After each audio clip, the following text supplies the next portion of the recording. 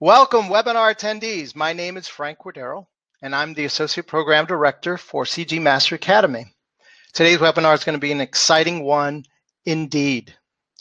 So guys, um, definitely uh, your host for this webinar, for this free training. Uh, I'm Frank Cordero, and for those who don't know me, I'm a former 2D cleanup animator during Disney's animation renaissance in 2D. Uh, I worked on films like Mulan, Lilo and Stitch, Brother Bear, uh, just to name a few. Um, I also uh, worked as a concept artist and associate art director in video games for EA Tiburon on titles like NASCAR, Madden Football, Tiger Woods PGA Golf. I'm currently a 3D modeler and instructor at Fulton College, and also currently associate program director for CGMA. And I'm going to introduce Jason Martinsen, and I'll let him tell you a little bit more about his awesome background. Hey guys, I'm Jason. I'm um, happy to be here. Um, my career started in 2002. Um, I worked at Naughty Dog, which is one of the premier video game studios in the world, on the Jak and Daxter uh, series, and then Uncharted. Uh, my first feature film was Ice Age 2, The Meltdown, and I worked at Blue Sky for quite a few years, and then ended up going uh, traveling around the world. I worked in Spain. Uh, I worked at Sony. I've worked in London at, at VFX films like Iron Man 2 and Paul.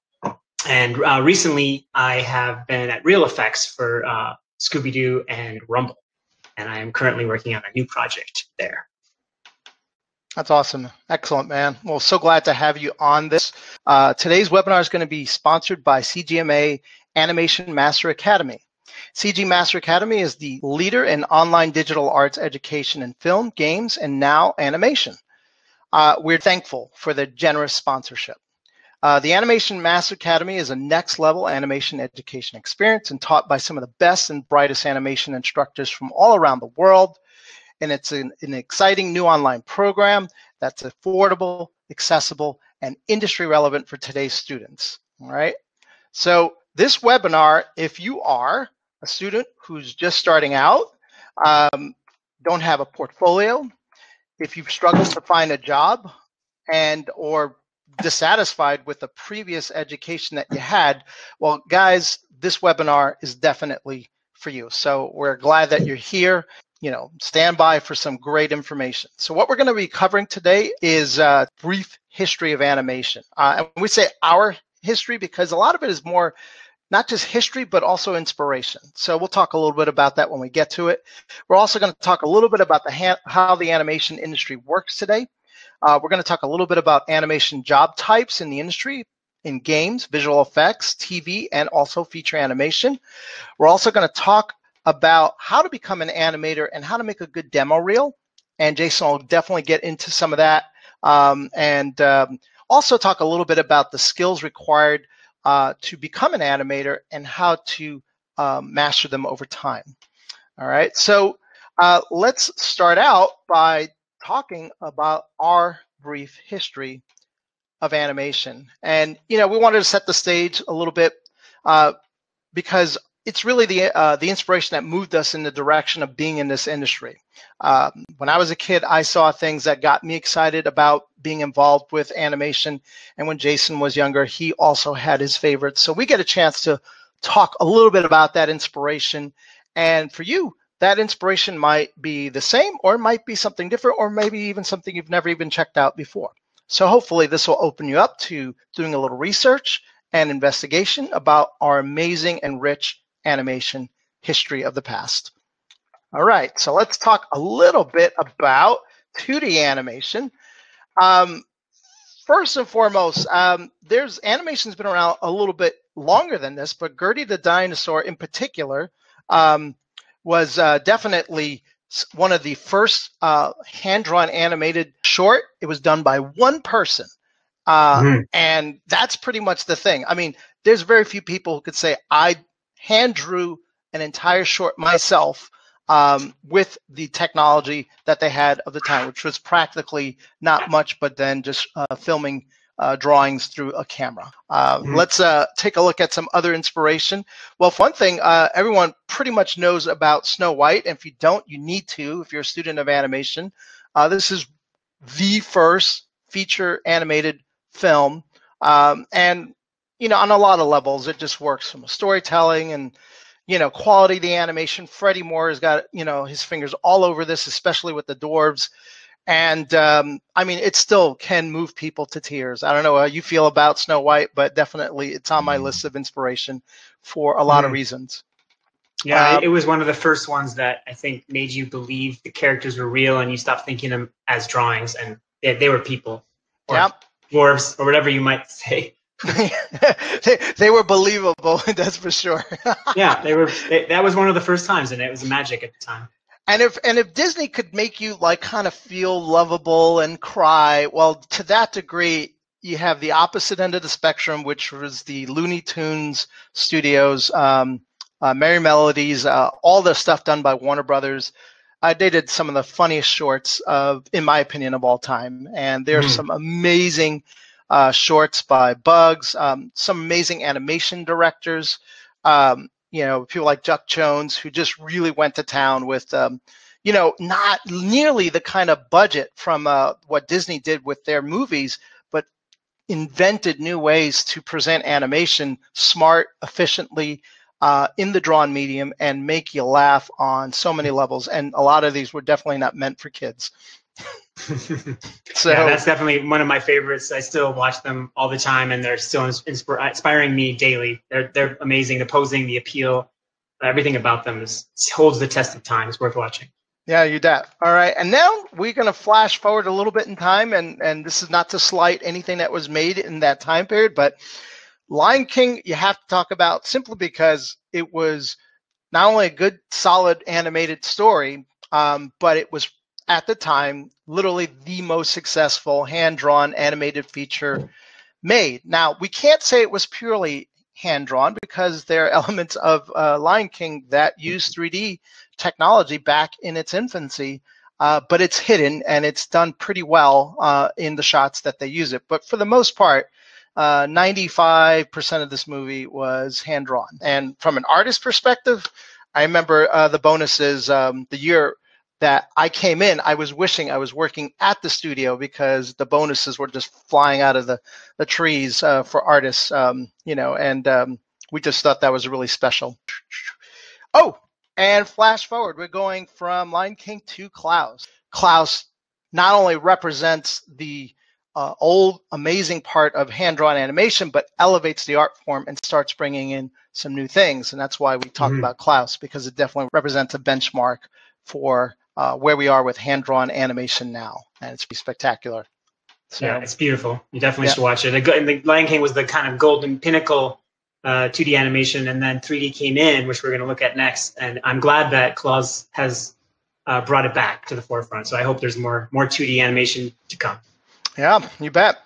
All right, let's move to 3D animation. Let's talk a little bit about the benchmarks for 3D animation. And, uh, you know, this film really was sort of the linchpin for 3D animation as we know it, it at the um, uh, feature film level. Um, you know, and this was one of those films that um, Phil Tippett at the time, who had done work on Empire Strikes Back, was being looked at to do stop motion for this film, if you can believe that, that they were going to do stop motion for Jurassic Park in 1993. They did some tests at Industrial Light and Magic and wound up showing Steven Spielberg.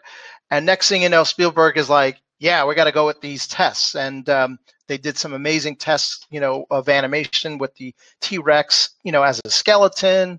And eventually they started skinning it and they got to these results. And it definitely like wowed me when I was a kid. I'm like, oh yeah, I'm hooked. Dinosaurs. I always loved dinosaurs. I love them even more after this movie. So anyway, yeah. any thoughts, Jason? that was that was the movie. It came out when I was uh, I think 13, and it inspired me to get into animation. That was the one that I'm sure many people in, in my age group. That was the film that inspired them to start yeah. a career in animation.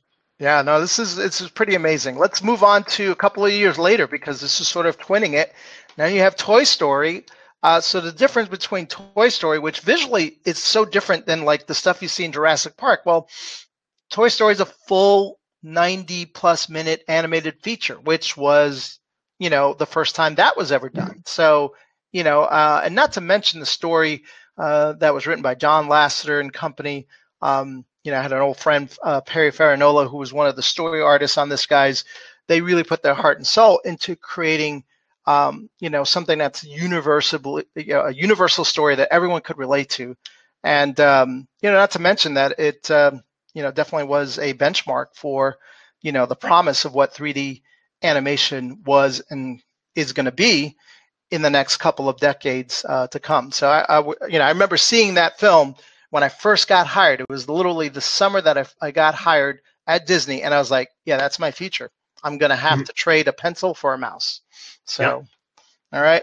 Uh, the next thing that we want to talk about is Lord of the Rings. Now, this is definitely um, you're starting to get into a very sort of blended and seismic technological jump. Uh, you know, obviously animators were starting to uh, do keyframe performances and starting to really bring a lot of life. And this film is sort of a blend of keyframe animation as well as early developments in bringing in motion capture in the mix. And Jason, I know you have a little bit of experience of managing uh, motion capture as well as enhancing it and improving it or augmenting it.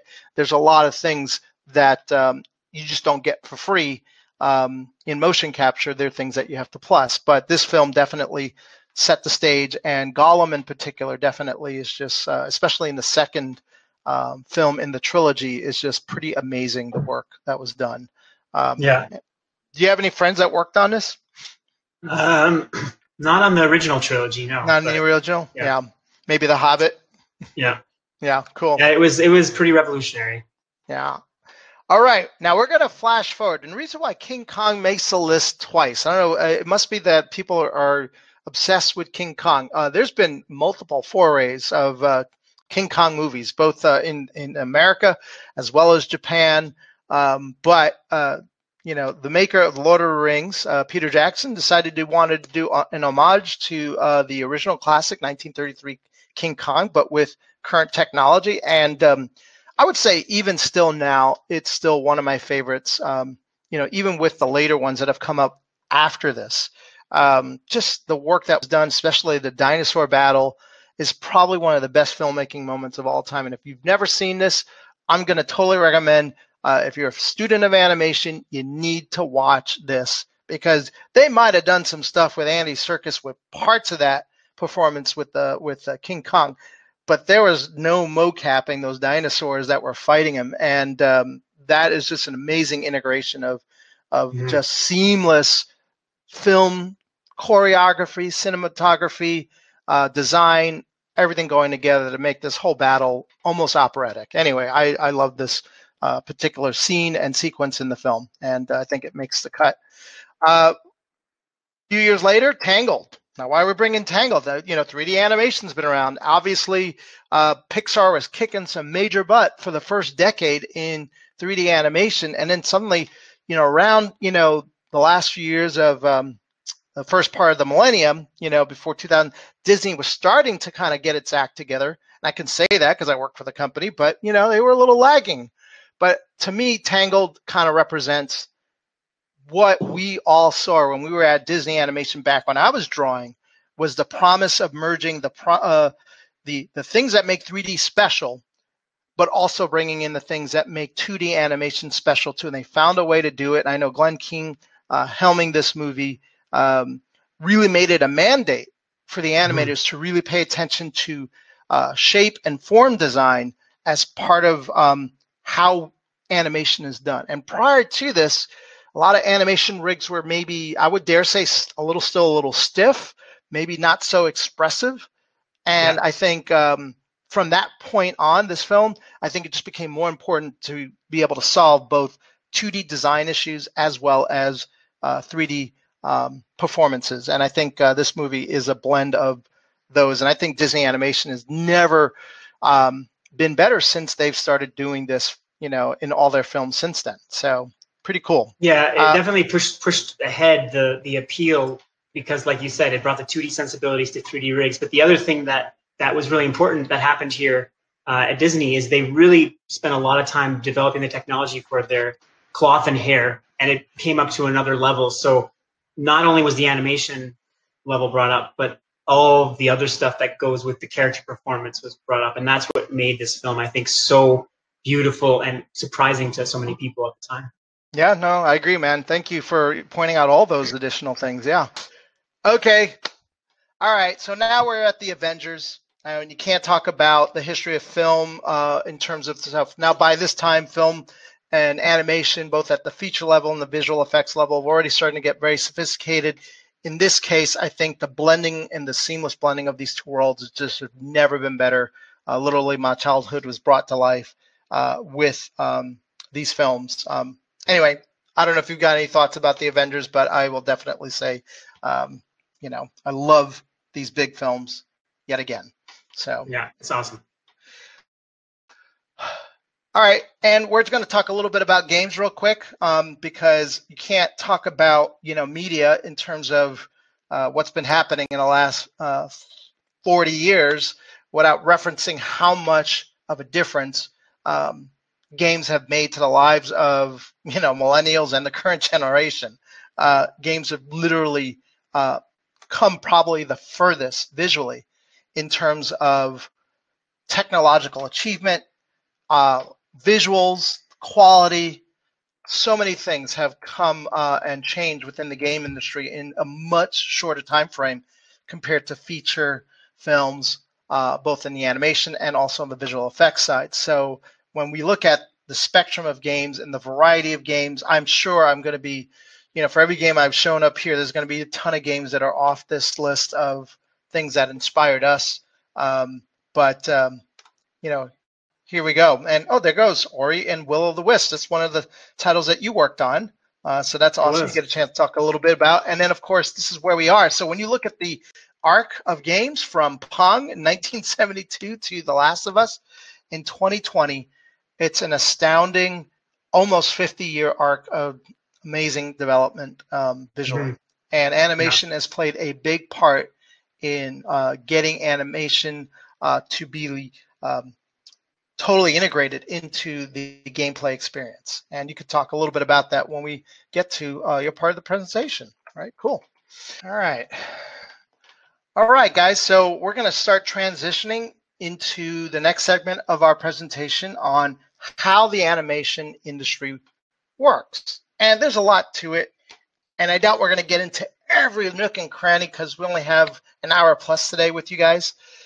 But uh, our goal today is to give you a little bit of a, a sense of the not only the brief history of animation, different mediums, but hopefully you get a chance to get some information that'll help you better follow your dreams. And uh, we're hoping that we can provide um, a little bit more inspiration on that front. Um, let's talk a little bit about the 3D production pipeline. And uh, I'm going to let you take over, Jason, on this front. Yeah, all right. Um, so obviously it starts with the script. Um, you know that sometimes there's a concept pitch that's even less than a script, but the script writer has to come in and that will go through many drafts. And honestly, working in this film industry for so many years, it's usually written up until a month before you're done. So it's never final, final. But that yeah. is the start. That is the first step. And then after that, uh, the storyboard artist will start with basically doing a, a moving comic book of the film. Um, it's not fully animated. It's just like basically reading your, old-fashioned comic book. Sometimes they do some simple animations in 2D. Um, and around this time, you know, they start doing layout and voice recording uh, kind of concurrently. So layout is actually bringing it into a computer and setting up these environments with the cameras and the characters, which aren't animated yet, placed where they need to be. Uh, at this time, the the actors are taking the script and working with the director and doing the, the voice recordings, right? Um, and then uh, at the same time, um, the, the, the concept department is doing all the concept art. And, and that art is taken in the modeling and rigging department will start to sculpt, sometimes in actual uh, real sculptures, and then scan them in, or, or sometimes on the computer, um, which is uh, something that CGMA does as well. And the riggers will take those models and put in skeleton underneath so you can move it around just like those old fashioned stop motion puppets and the animators will be able to take it and make performances and then we get to the step that we're here to talk about which is animation and we're going to break that down in, in more detail coming up but animation is where the performance comes about. Once animation finishes, you go down into the, the post animation departments, which are CFX and Sim. CFX is it's cloth simulation. So if the character's wearing clothes or has a long cape or whatever it is, uh, and and hair, flowing hair, those kind of things. Simulation also can be water, smoke, fire, all sorts of cool stuff that the animators don't do anymore uh, the same way it was done back in the day with 2D drawings. It's done with other types of programs um, and not by moving puppets around. Um, and then effects is part of all this, right? Um, after that, the lighters come in and they have the job of making everything look beautiful. So that's the, the big step when you're seeing the, the process steps of animation. When you see it go from kind of the play blast flat colored to the lighting, that's when most um, people that are uh, kind of new to the industry are like, whoa, that's the biggest difference. That's the, the biggest difference you can see. Um, and, and that's such an important step. And then compositing comes in and composites the background. Sometimes there's, you know, paintings or, or different layers of, of characters and makes it all seamless and color corrects it. Um, and they can do 2D effects on top of it if, if need be. Um, and then you get the final output along with like, at this time, they're doing the final sound music and like Foley effects, like the sound of people walking or whatever the, the things the characters are doing in the scene that the characters uh, didn't do in the storyboard. If, if I'm animating it, they need to add those sounds. So that's the the basic kind of order of things. Obviously, some things are, are moving around uh, as we go, but that's kind of how it goes. Yeah, it's, I don't I don't get that the uh, order is uh, firmly in place. I think it's more like a bunch of bricks sort of stacked, and then every once yeah. in a while it goes back over when there are changes, and you got to go back in the loop again. So there's a lot of things happening, uh, but there is a, a, an order to the madness of uh, making films, especially animated films, and that kind of has to be. Um, mm-hmm. We always used to say that uh, in animation we make the film twice: the first time in story, and then the second time in production. you know, so. Yeah and a lot of change can happen in that time period. So that's pretty cool. Um, yeah. Let's let's go ahead and um, and uh, talk a little bit about the modern feature. Since we're talking about animation, uh, we thought I thought it would be a good uh, opportunity for you to uh, share, you know, talk a little bit about the modern feature animation pipeline through uh, Tangled. So yeah, this is this is uh, kind of the breakdown steps of an animation and this is the final version of it in the film, um, uh, which is which is kind of nice to see from like a, a, zoomed out perspective, and we, we have a zoomed in perspective of the actual animation process after. But here you can see it starts with the layout of the shot. So here they have the the rigs, which are not animated yet, placed in the scene in the correct position based on the storyboards. The camera, which is animated and moving by the cinematographer in the layout department, um, in this particular sequence, obviously the background is very dark, so you don't see a lot of it. It's a musical sequence. And if you scrub ahead a little bit, um, you know, you can see the, the rough planning by the animator. Now, not all animators will do planning with drawings, but a lot that have the ability do. And after or concurrently, the animator will do video reference, as you can see here, which can be very helpful. Uh, I do it all the time, especially when you're doing humanoid characters. Uh, it helps you. It's not mo- motion capture. It's different than motion capture. It's more of like an example for ideas. So if you think about like if you're drawing a figure, light and life drawing, it's not a photograph. It's an inspiration. And as an animator, you can take that pose and push it in different ways. So here you see um, his blocking pass, which is uh, setting the keyframes of the poses to tell the story. And this will be shown to the lead supervisors, directors, to make sure he's going down the right path. And then after this, you scrub ahead a bit. Um, okay. There you go. Uh, I think this is still blocking. And then, okay, after that, you have the spline process. And here you can see he actually did a 2D drawing of what he wants, hopefully, the, the hair sim to look like on the little push and the spin. So here now it's animating at 24 frames per second. And the the arcs and the timing is being worked out much smoother. This is like an in progress. And then after that, you have the the final passes where he's working on polishing that shot and making it look really perfect. Oh, this is. I just wanted to show what it looked like with the hair. There's a lot that goes into the hair effects. Uh, literally brought on very, very um, Mhm. smart and people the to and the cloth. so that helps uh, quite a bit with supporting the animation performance for sure. Um, There you have the lighting. and there goes the final. Yeah, looks awesome, beautiful, cool. It's always exciting to see that as an animator. Wait a few months after, and then you're like, oh, look at it. It looks so cool. Cool. All right. Let's go and move to the next part of our presentation, which are animation job types. So, Jason, tell us a little bit about this. You've been in the industry for quite a bit of time, and you've got an understanding of um, animation in all these three different areas. I'm just going to go ahead and pull them all up for you to kind of take a look at and talk about. Yeah, I've been fortunate to have worked in video games, visual effects, and feature film, and I have worked uh, in pretty much all of these positions. Um, so uh, obviously, uh, you start in the animation industry if you're working in feature at uh, as a junior animator, uh, which is what which is what I did. I actually started in games, um, and then I went into feature, and then um, usually you'll move up into being a senior eventually, and then a lead, and sometimes a supervisor. Um, and you can see that in feature film um, that they have they have all these different jobs concurrently in, in VFX as well. The only thing that obviously we don't see is the gameplay animator. That's something that doesn't happen in feature and VFX. And in games, they do sometimes have leads and supervisors, but it, in the studios I've worked, it tends to be kind of more of a, a flat hierarchy. Um, so you you are all just kind of working in the same goal. Um, in games, you do have, um, and VFX, you have mocap cleanup animators, which is where you take this mocap data, depending on the type of game, because obviously Jak and Daxter and Ori, we didn't do any mocap.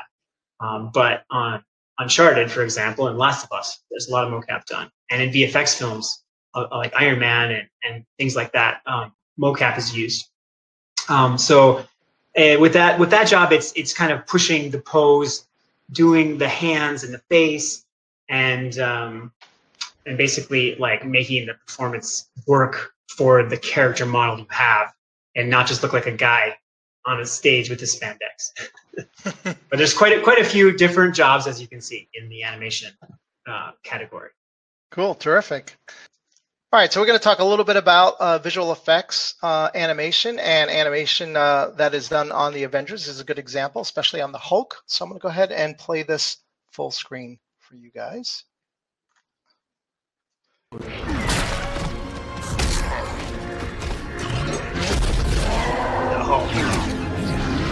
Just the expression that changes as you're looking at somebody is going to be is going to read very differently. And that's where animators really come into play is working with the sensitivities of the facial expressions and the performance that's been given but being able to adapt it to fit the character that they're going to need so that the audience can understand what the actor was bringing to bear but really feeling it in the in the character.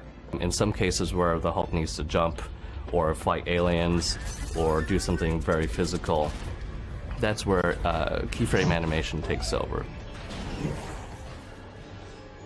If it's something that's a little more subtle or uh, he's acting against Captain America or Thor, that's something where we can definitely use uh, Mark's performance as a basis and then kind of uh, push and manipulate that from there. So that could be a marriage of um, keyframe animation and what we capture on set with Mark, or it could be an entirely Mark performance. And we're back. All right. Well, Jason, you've got some VFX animation experience, and um, talk a little bit about your experience on Iron Man. Yeah, I mean, Iron Man was uh, I was on it for like four or five months at DNEG in London, and um, it was supposed to be all mocap because we had a mocap performer do all these stunts, but in the end, it didn't work. It just felt like too light and didn't have the, the energy we needed. So it ended up being almost 99% keyframe. There was a couple shots where they used a little bit of mocap for a few things. Um, and even the simplest things like that first shot of him turning his head, you know, the the the the mocap actor had just kind of turned normally, and we were like, well, that doesn't look cool. So all I did was slow it down so his head came at the end, and it made it look much more heroic, right? So it was a fun fun project, and uh, I got to do my first Marvel movie. Oh, that's excellent. No, I'm a big fan already, and um, obviously did some work on Afterearth and uh, yeah. Paul uh, as well. Yeah, those were those were different uh, projects, but also uh, very good learning experiences. Having to do you know animals and study animal animation and realistic type of ways. And Paul was essentially you know Seth Rogen's character um, as an alien, so he was you could just act act out um, fun performances with him. It was it was actually much more similar to working in feature film uh, Paul. So it was a very unique VFX experience. That's cool. Well, let's also move on then to um, your uh, games experience. Actually, um, I know that uh, you've gotten a chance to both work on both uh, gameplay stuff as well as um, uh, you know cinematics, and maybe you can talk a little bit about the difference between uh, the two things, uh, uh, two types of jobs, and um, maybe the mindset that you need to have uh, to approach each of them. And do you want to, uh, which one do you want to start talking about first? Gears of War or a gameplay? What would you like to talk about? Uh, we can start with Gears of War. Um, I worked on that uh, in 2015. It was a remake, and I was in charge of the redoing this whole cinematics of the first game because um, it was essentially we had to re-storyboard out, which I got to be. I think I spent a month and a half redoing uh, the storyboards, which was fun. I got to draw, and then they took took those storyboards to the set um, and recorded the actors, the new actors, doing the mocap for them. Um, and then we got to animate the cutscenes, so we got to set up the cameras and and plus the performances. So there was some cases of keyframe, like we see when he's jumping away from you know, doing stunts essentially. Uh, but most of this was pretty much the the performances uh, with us doing the hands and the faces on top of it. So it was a it was a layered uh, process, and um, it ended up being uh, very very successful and, and worked really well. And they continued. They did a bunch of Gears games after this. This was kind of the prototype for the new generation of Gears games. Cool, excellent. Cool. Let's talk a little bit about um, Ori gameplay because that's also got uh, that's a little bit a few years later and also um, some different things to think about. Let me go ahead and get it started for you. So gameplay, I first was my first job. I worked in 2002 doing doing uh, Jak and Daxter 2, and essentially it's lots of cycles. So it has to work from different camera angles. Uh, Ori is a little bit of an exception because it is a 2D side scroller, so you can graphically position things to work to, to camera. But usually, when you're doing game cycles, um, they need to work from all angles. So you have to actually make sure you're not cheating things. Um, and it's really important to have good sense of weight and arcs and timing. Um, but but yeah, we we were um, we were really lucky at Ori because we got to push the animation style to be a little bit more exaggerated than um, say Gears of War because Ori himself is this little spirit elf, you know, and he's got tons of squash and stretch and all sorts of cool moves that he does. Um, so that whole world was a joy to be working on. And you can see here it's just a lot of sort of the development process, the play blast. This is how it looked when we were working on it with these cards as backgrounds and everything not lit. The final game obviously was far more beautiful with all the lighting and colors put in. Cool, terrific. And uh, I guess uh, you want to talk a little bit about Ori cinematics, or is, uh, uh did you have any? Because I know that they're they're just gorgeous. I mean, you know. Well, here, yeah, here here you can see what the kind of found game looks like. Um, the the lighting and, and painting, and it's beautiful. That the the artists at Moon Studios are some of the best in the world, and um, and this this process was essentially much more like feature film because we were doing the camera timing and we were keyframing everything to to do acting performances. So there wasn't really any video reference or mocap in any way. This was just purely using animation techniques and skills to create a believable performance on these fun characters. And um, it was a great, great process because, as you can see, if you've ever played Ori, it's, it's there's not a lot of dialogue. in most feature film, when I do work on it, it's a lot of talking back and forth, back and forth. So it's really nice to do some fun kind of Miyazaki style pantomime type acting. And I, I had a great, great time working on this project. It was a great learning experience and a joy to be part of. That's cool, man. Thank you for sharing. I appreciate it. Some great stuff.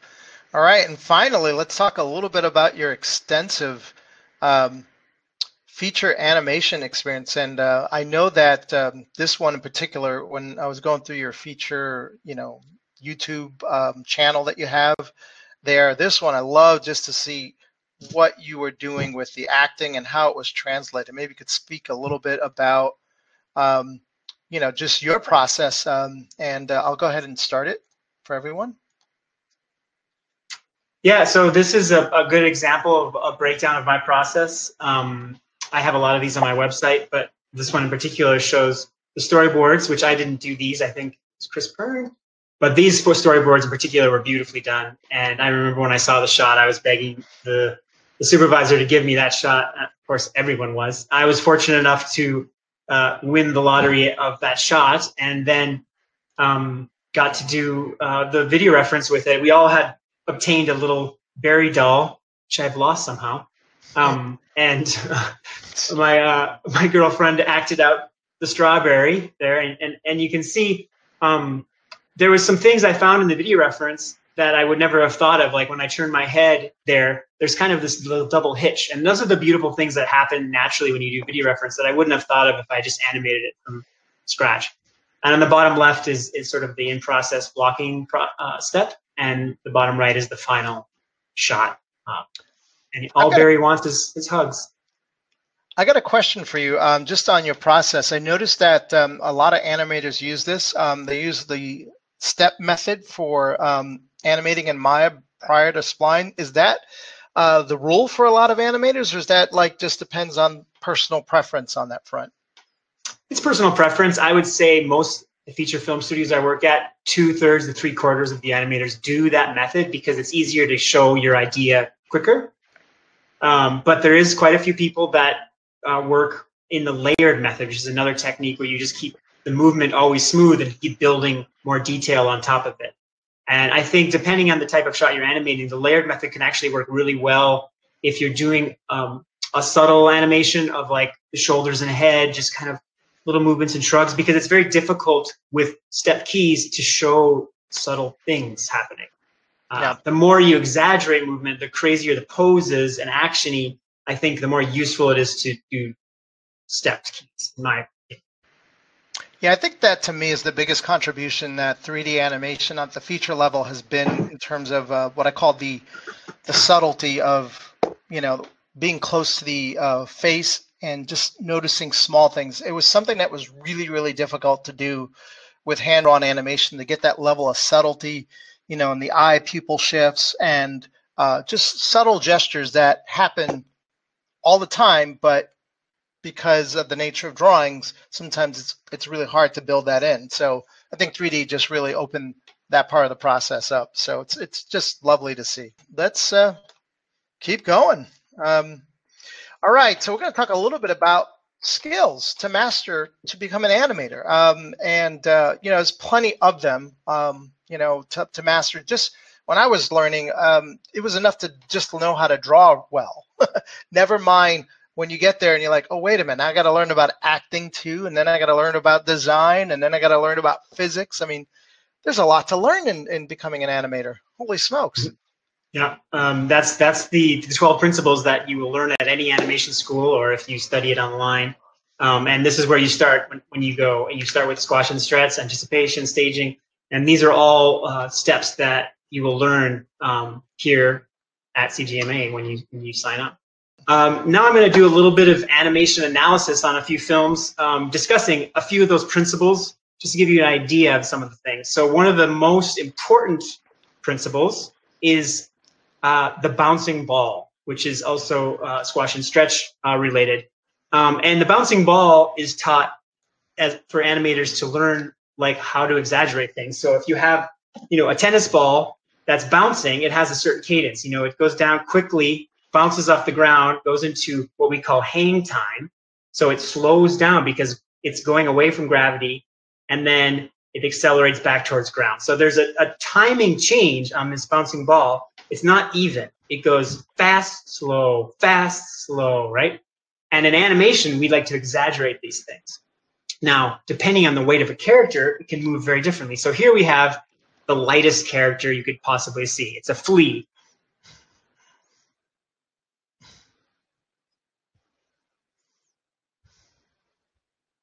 So it's his name is PT Flea, uh, and his accents are all just bouncing balls. And you can see I've drawn over here, as you can see the the timing of this bouncing ball is quite quick. He just bounces off the ground like a popcorn kernel. He doesn't dwell a lot of time. He doesn't have a lot of anticipation, which we'll talk about in a minute, to get going.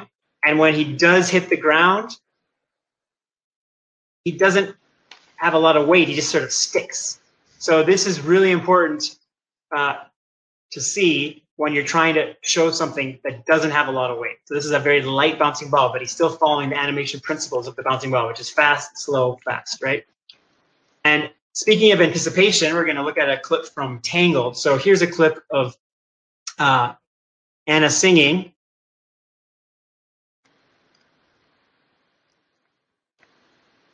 And basically in here, what I've highlighted is a few poses. So here we have a pose A, right? And we go into what's called an anticipation. So in this case, it's usually an opposite action before an action. So the, the most clear anticipation would be, say, uh, um, if you're going to throw a ball, you have to bring your arm back before you throw it forward, right? Um, but we do anticipation and animation all sorts of times. If a character is going to reach into his pocket, you might just reach into your pocket, but Mickey Mouse will go like this which is an anticipation, and then reach into his pocket. So as the viewer, you know what he's going to do, and that way you don't miss it. So here she's going to do something really cool, and as you can see, that's the change, right? There's the the pose of the action, and these movements here are all in betweens where you follow nice arcs and, and lines of action. Here's another example. Here you have pose A, which is her acting pose, and then she has her big anticipation, here, which is a very strong anticipation for her forward Hadouken action. Um, another thing, a principle to mention in animation is line of action. And here's a very strong example from Tangled. Glen Keane has his hands all over this. You can see how strong you have this thrust through her character, right? Just these beautiful curves and straights. Compared to him, he's all bunched up in the opposite of her, right? Um, and then when she does release here, you can see it all collapse. So love, this love wouldn't have been, yeah, this wouldn't have been as strong if you didn't have such great lines of action. That's like perfect example of 2D shapes being thrown in 3D. Yep. Uh, another principle here, a very important principle in animation is overlapping action, secondary action and follow through. And that doesn't necessarily mean that it's a ponytail or a cloak because it can mean a lot of things, inanimate and inanimate. In this case, it's it's something that a character has control over. So here's a scene from Bolt where uh, this this guy gets thrown, uh, electrocuted and thrown off his bike, and the primary action is driving from his core here. But if you watch what I've drawn and highlighted, you can see you have this arm that is following delayed his movement, right? And this is what we call overlapping action and the breaking of joints. So you can see here, this arm is coming up, and then as it starts to go down, the joints break because what's happening is this part's going down, but this part's still going up. This is a really important animation principle that you have to master to create believable movement. So you can see this arm is following all these principles, and then he flies off screen. And this, this shot's the same thing. It's another example of this. Now, in here, it's a little different because he's actually using his arm. It's not kind of like a rag doll to move his body, but it's moving either in advance or behind of his center of mass. And it's creating him counterbalance and basically forward momentum where he needs to go as you can see, you frame through it, it's all timed differently from his center. He uses it to throw himself up forward. Another animation principle uh, that's important is, is posing, um, appeal. And this is a clip from uh, Toy Story, um, where Woody is basically introduced. high degree of personality. It's done by Doug Sweetland, who is an amazing director and animator from Pixar, one of the superstars of our 3D era. I was lucky to work with him on Storks. And I just want to point out a few things from this shot. Obviously, you have really good asymmetrical, appealing poses. And Woody has this great cocky walk with the hip swing, right? So you can see like these these shifts in weight, which are so important and sh- showing such really really great attitude, right? The other thing that he does here, and it kind of goes back to the bouncing ball, is he decides to direct your eye where to look. And one of the ways you do that is you do actions that are important during what we call hang time. So here, you know, if he's very still and he does this little movement, you're going to catch that movement because there's nothing else moving here to distract you. And then he starts this great walk. And as he's going into his hang time, because here's the weight shift, you can see his whole body's moving down, right? Now he's going into his hang time. And here, if you watch this pose, it's not moving very much. He's up in the air, moving slowly, almost a held pose. The only thing that moves is here. So you catch that right? You can't miss it. And that's what he wants you to see. That's the personality flip. Then boom, the body moves again. And then you go, nice hang time. Boom, the little nose character bit. Then weight hits, the whole body moves. And that is how you create um, appeal in an animation. You have you have to direct the eye to the important parts and add personality when you know the audience won't miss it. Uh, last year, we're going to look at you know the classic that we all love, King Kong. And now we're going back to the bouncing ball here, and and I, this is actually not the bouncing ball. This is what I call the bowling ball because King Kong is massive. And if you drop a bowling ball, it's not going to bounce much. It's going to hit the ground. It might bounce a little if it's on concrete because it's such a rigid thing. But if you drop it on a, on grass, it's not going to bounce, right? if it's on a hill, it will eventually start to roll. Um, so it takes its time because it's got such uh, inertia of its own that to change directions, it takes a lot of effort. And if you essentially watch this clip, imagining that King Kong and the T Rexes are giant bowling balls, you'll start to understand what it is that animators have to do to create heavy, believable characters. So let me finish this out and then I'll go back and show you a few things. Oh my god. Just love it. Oh. So much weight. Oh my god. You feel the power and the, the magnificence of these characters. So, you know, he's he's essentially a bowling ball with arms and he has these strong limbs that can propel him through these things. Uh, so here you see him pushing this weight forward and then dropping it down. And it when it hits the ground, it, it stays there. It just has to readjust its rotation and torque to move again to get the, the T-Rex to fly over him. Uh, here we're looking at the T-Rex's body, right? Lifting that heavy bowling ball up and over.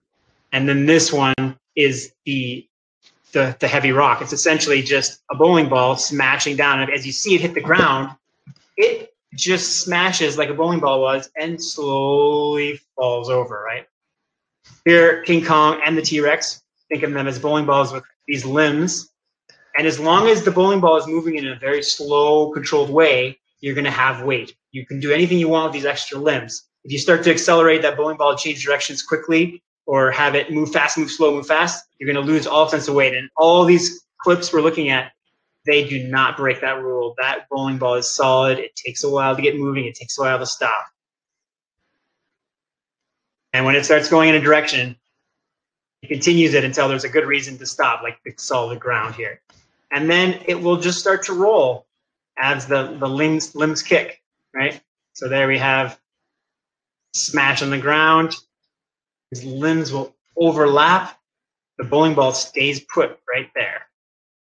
Um, this is a really great example from the side view. You can see King Kong picking up the T-Rex and throwing him over, squashes on the ground, and then flips up into the air, down. Now, when he hits the ground here, it smashes and sticks because its momentum was going down, and then slowly rotates as his legs and tail squirms downward, downward, downwards, off screen. Same exact thing here at the end. You have this T Rex fighting for his life, pulling away. King Kong grabs back. T Rex pulls again. King Kong gives a mighty last effort and pulls him down. Squash bounces just the tiniest bit here. You see that a bouncing ball would go way up. This one is a bowling ball. It barely goes up. It falls, smashes on the ground, again sticks and slowly starts to roll as he squirms. So these animators really understood the principles of animation to create this stuff in such a beautiful way. Jason, that was such a cool presentation that you just gave us. Um, so grateful that you are sharing your amazing wisdom about things that are actually going to be relevant in the next part of this presentation. So for you attendees that are um, a part of this, uh, we just wanted to make an announcement and just let you know that if you stick to the end of this webinar, you'll get a chance to learn about something cool and special from CGMA, uh, who decided to release a free animation course. When we started CGMA, we wanted to provide you with the best online education from the best artists in the world and the skills needed to kickstart your career at an affordable price. We decided to give back to community, to people who want to start a career in animation but didn't know where to start or even if they would like animation. So we created Animation for Beginners course completely free uh, with a $50 registration fee, which will be applied to your program if you continue your education at CGMA. If you're just starting in animation, this four-week course is perfect start to your career. So let me tell you a little bit about animation for beginners. And there's some cool things included in this four week program. Uh, this class was created by Todd Elliott, and he's a 25 year animation veteran. From animating a bouncing ball to transforming that ball into a character, you can see what the animation process is like. This exciting new class gives you a chance as a beginner to learn a little bit more about some basic animation principles while learning Maya to see if 3D animation as a profession is for you. What's included in this four week program? Well, here's some details about the class. So, you're going to get an introduction to Maya itself, the timeline. You'll learn about keyframes and the graph editor. So, you'll also learn about basic translation controls of the ball rig. Uh, you'll learn how to set keyframes. You'll learn some bonus content for those who want a little bit of extra information, um, and you'll start getting into ease-ins and ease-outs and breaking tangents. So in week two, all right, it's a continuation of doing things like ease-ins and ease-outs, breaking of tangents. You'll be moving the ball along a path, and you'll be starting uh, to get an introduction to arcs. Uh, you'll be copying and modifying curves. Uh, you'll be breaking up the cycle and varying and reducing the height of bounces. You'll also get some additional controls in the ball rig to uh, get some squash and stretch in the actual ball. Now, week three, you're going to get a chance to uh, interact with the set. And then you're going to also make the ball to come to a stop. And you're going to get a chance to demonstrate the difference between a bounce and a jump. Okay. And you'll also get an introduction to anticipation, which Jason talked about in the presentation. Um, and that will be setting up um, the rest of the animation. And then a bonus comment for that is you start, for some of you, you get you guys may uh, want to start dealing with the full ball rig, which is you know showing some ears, some whiskers, some eyes, and maybe start lightly introducing secondary action and follow through. Now, week four, uh, you'd be continuing with secondary action and follow through, and then you just start kind of dealing with uh, subtle things like blinks and look direction for the character, and all sorts of polish uh, on trying to sweeten up um, the scene, and then you'll get a quick demonstration on how to render. All right, guys, so for those of you who need some accountability or extra help with a community of people pushing for the same target, well, we want to introduce the student community on our Unity platform. Uh, you'll get class materials and projects, and you'll be able to develop um, relationships with your online peers. You're also going to have access to the most important thing, which are industry pros to help you succeed via live Q&A and feedback for your individual projects that you do on the course. So all these things are going to be there for you. Uh, and we do this with all our classes that we have at CGMA. So for those of you interested in animation for beginners, all it takes is one small simple payment for your registration fee. To get started, uh, definitely go to www.cgmasteracademy.com for more info. So to get started in our Q&A, um, Charles Edward um, asked, what are the top things a junior animator or a junior effects artist should put in their demo reel? Jason. Uh, well, I mean, you need to be a good animator to get an animation job. So obviously, um, you want to have your best work first. Uh, it should show a combination of good weight, full body mechanics, not just the character from the you know chest up doing some gestures. Um, ideally, you have character interaction with either objects in the environment or other characters. Um, your demo reel as a junior animator should be more than 30 seconds, but probably less than a minute because nobody's expecting you to have a lot of content. They're just looking for the potential. And you want to, if you're going to work in feature film, you want to have some acting stuff. So you want to have some dialogue and some characters talking and performing. Uh, if you're going to be working in VFX or games, you want to make sure you have lots of body mechanics stuff. So cool stunts or, uh, you know, heavy creature type stuff or uh, animals running around, uh, characters using weapons, that kind of stuff. You can see good examples of demo reels all over the internet, um, but those are some of the basic rules. Try to avoid, you know, anything that might be offensive uh, with profanity in your dialogue and, and things like that that are too political. And um, try to have, if you're going to use audio clips, um, try to have it so it's something that people can understand the first time they hear it.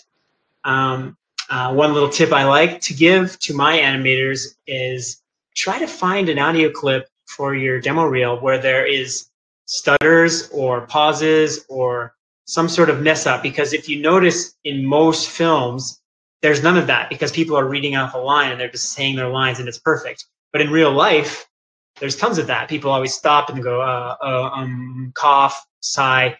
And when you can add those into your performance suddenly it seems much more believable. So that's just a little tip to try so in other words, we want the mistakes there. We want those exactly. uh, human affectations. Oh, they're nice. they're nice to have sometimes if you can yes. find it. Yeah, definitely. Cool. All right, let's see what the uh, next attendee uh, wrote in about. Okay, this is Delia Jernigan, and she asked, "How late is too late to start learning animation?" Wow. well, one of my students uh, about 10 years ago was in her 60s, and she was just learning animation for the first time. So I would say it's never too late. Um, a lot of my friends and peers in the industry started this career late because they started a new they, they started a new career essentially. So they were in their in their 30s or 40s when they wanted to go into animation. So I mean, I suppose if you don't want to work and you're retired, maybe that's too late, but maybe you're doing it as a hobby. Um, I don't think there is any any uh, certain date that applies to anybody. Um, so if you're following your dreams, you're doing the right thing. That's cool. Excellent. All right, now Christopher Fenton asks, what keeps you going when you're feeling burnt out? Or do you ever feel burnt out and how uh, do you recognize it and overcome it? I think every animator is going to feel burnt out. Um, the hardest I ever worked was in college when I was, you know, 19, 20 years old. Um, I worked more hours than I ever did as a professional because you were working for yourself. Uh, and obviously having the youth you didn't get as tired and you know we're running on coffee. But when you're getting paid to do work you're expected to do it at a certain level. And if you do burn the midnight oil too much even if you're getting paid overtime you know one thing you want to try to avoid in the industry is, is ghost hours. It's a common problem where you work more hours and don't bill it. But it happens a lot and it's a bad problem because then you have a, a unrealistic image of of your performance and the studio isn't paying you fairly. So really try to avoid ghost hours. But one thing you should do is try to work the eight hour days and get your work done in it. Because what happens is over the course of a year, when you're working day after day on a project, you have only so much creative energy to give. Animation is very demanding. It's a very uh, fun job. It's got a lot of variety. You're learning all the time. But if you're working 12 hour days for an extended period of time or more, you're going to lose that edge and that creative spirit. And then your work suffers. So there's a balance. It's okay to work, um, you know, a lot of overtime for a month or two here and there. You should really try to minimize the hours and increase your efficiency. And that way you get time out of work to do all the other important things you need in life, like exercise and sleep. Hmm. It's a good point. Um, I remember Mulan, the last six months, definitely my drawing counts definitely dropped as we went mm-hmm. later and later into the evening. Uh, so uh, definitely, we probably should have taken your advice uh, back then on that project for sure. Uh, yeah, I guess to, to recognize to recognize yeah. it, if, if you're dreaming about work, yeah. you're probably working too hard. That's yes, we were drink, dreaming about work for sure, or nightmares, depending on your point of view. So, you know. yes, either way. All right. So, what's the next question? Okay, Sophie Gass. Um, she asks, "What are good reference books that help with gesture drawing and the 12 principles of animation?" All right. Well, I'm prepared for this question. Um, this is one of the classics. We have the Richard Williams Animator Survival Guide, um, which is highly recommended. I've had this since uh, I was in school. Uh, this is another good one. Lots of great drawings in here. The Animator's Workbook.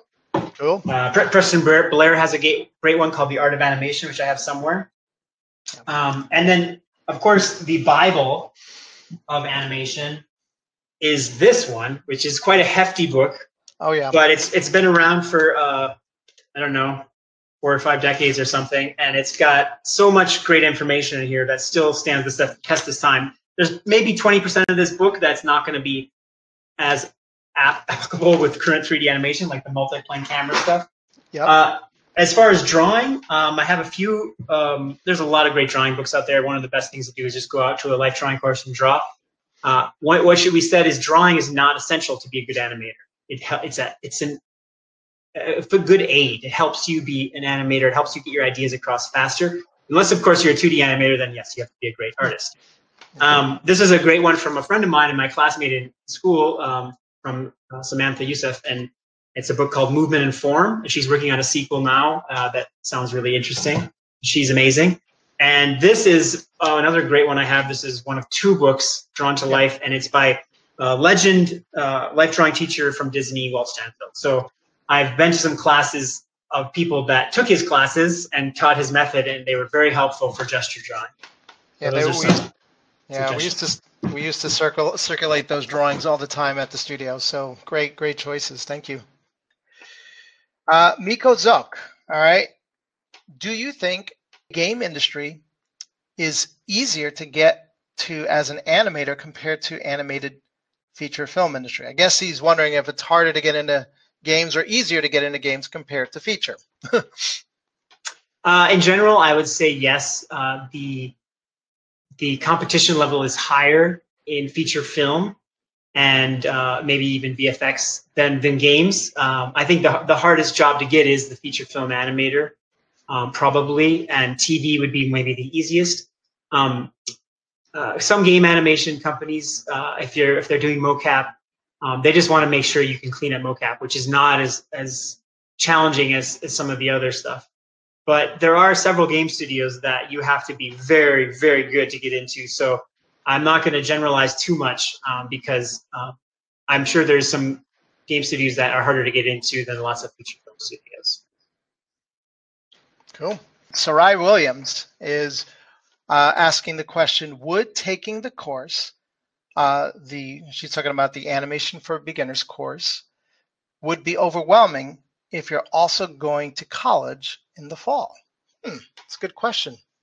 Yeah, I think this is a question that lots of students ask me, and, and I've taught students uh, for many years. Uh, I've been teaching for almost 15 years, and I've had students that are full time employed uh, with another job. You know, maybe they're an engineer or whatever, um, and students that are going to college for their business degree or whatever it is. Well, they're taking animation.